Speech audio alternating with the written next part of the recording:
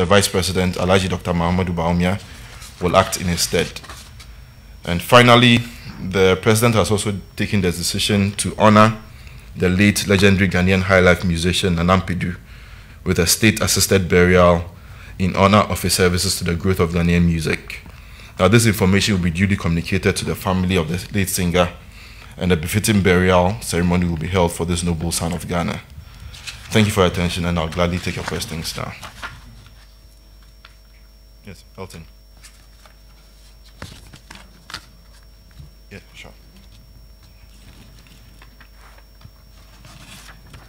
Thank you very much, Director. Just clarity on the Glasgow participants.